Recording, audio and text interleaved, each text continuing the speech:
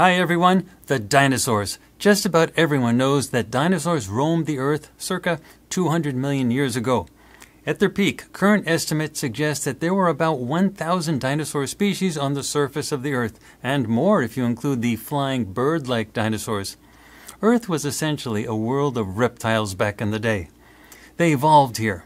Then, about 66 million years ago, nearly all of the dinosaurs were wiped out by what appears to be an event involving the impact of a large meteor or asteroid. Now, that is what we assumed going into this project, a project where we wanted to look at the cause of the extinction of the dinosaurs. Well, we got a lot more than just that. Like loud sounds of rumbling from different structures being destroyed by something. I'm sensing the rumbling is similar to like an earthquake, but it's it's like forced by something else, not an earthquake. I'm noticing a vibration. There's a loud sound from this vibration that's continuously similar to a rumble in foliage big and scaly and rough skin textured, um, kind of golden color skin. And they're huge and heavy. That's what that is. So it's a really tiny little thing and it kind of just darts between the trees that I see. It's kind of just like flying between branches and stuff like that. This is just like a lumbering behemoth of a reptile that's just sort of like cruising on the on the relatively flat base surface that's pretty brown in hues and texture as well. This environment is like a distant memory, and I don't understand why I feel this way, but I feel safe here. I feel free here. It's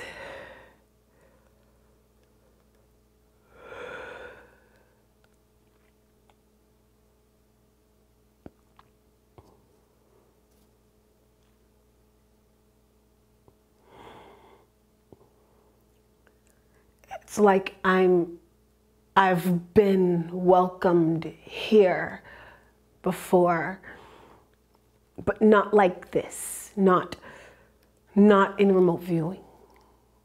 Whether it be a dream or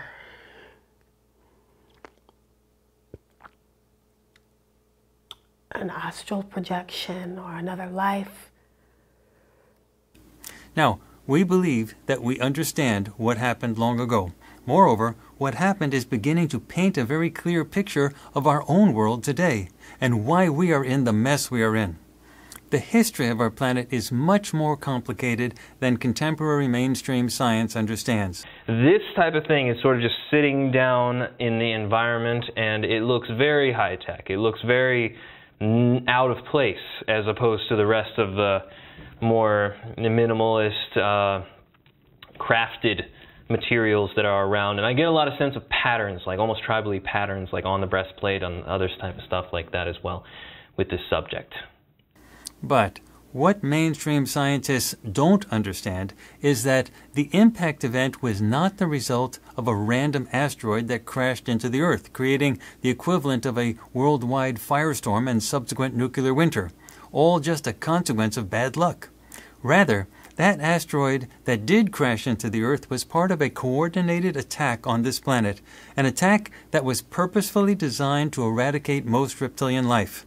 Uh, he's being lifted off the ground, and this massive force is just this wind dynamics from this heat and energetics from this like massive explosion is just wishing right past this uh, reptilian humanoid looking type of being. It's like he's he was on the base surface, he looked up and there's this wall of just wind and dust and he just like gets lifted right off the ground and is screaming and then it just sort of like dissolves the guy. I want to see where this explosion came from. It's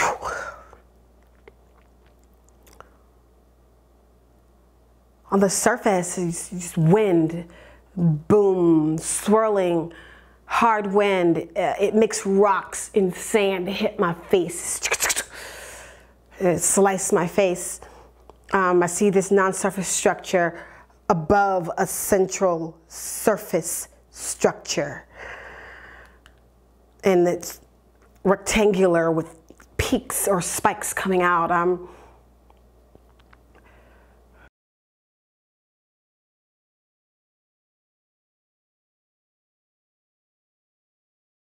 So now I'm gonna look inside this non-surface structure. I'm seeing several subjects inside this structure. Subjects are seated in this structure. Subjects look like humans. It just feels like things like hitting the base surface and things crumble. But like right here inside these energetics, it feels like there's very hard um, man-made structures. So there's non-surface structures hidden inside of these energetic clouds. Um, it feels like there's subjects inside of these structures, um, inside these non-surface structures. On the base surface, I sense that there's subjects here, but these subjects feel like they're kind of um, like they're they they used to be there, or they're kind of half there, half not. They're fading in and out of like consciousness or existence. Um, so it feels like there's like a lot of subjects here, but it also feels like a lot of them aren't like here. A war between two opposing species. What we have determined through many of our projects here at Farsight is that a favorite weapon used by extraterrestrials is a natural object that is thrown into a collision with a target, which in this case was a planet occupied by the reptilians. Moreover, our data suggests that the natural objects were only part of the attack. There apparently were weapons fire from non surface structures as well, and we can only assume that the weapons fire were directed at the intelligent reptilians, both to make sure they could not counterattack and to ensure that they died.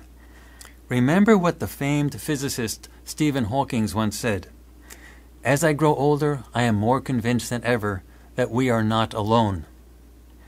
But also remember that he said, if so, they will be vastly more powerful and may not see us as any more valuable than we see bacteria.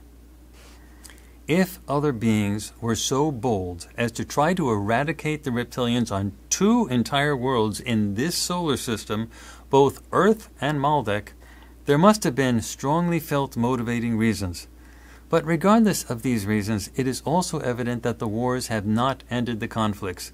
As the human mainstream continues to downplay the reality of UFOs and extraterrestrials, they put everyone at risk.